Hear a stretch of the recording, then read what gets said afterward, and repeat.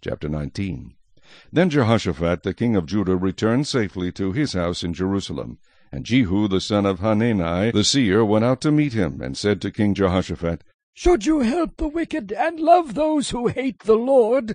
Therefore the wrath of the Lord is upon you. Nevertheless good things are found in you, in that you have removed the wooden images from the land, and have prepared your heart to seek God. So Jehoshaphat dwelt in Jerusalem, and he went out again among the people from Beersheba to the mountains of Ephraim, and brought them back to the Lord God of their fathers.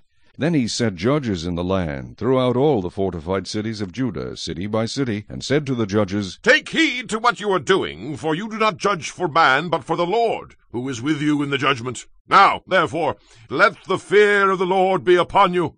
Take care and do it, for there is no iniquity with the Lord our God, no partiality, nor taking of bribes. Moreover, in Jerusalem, for the judgment of the Lord and for controversies, Jehoshaphat appointed some of the Levites and priests, and some of the chief fathers of Israel, when they returned to Jerusalem. And he commanded them, saying, Thus you shall act in the fear of the Lord, faithfully and with a loyal heart.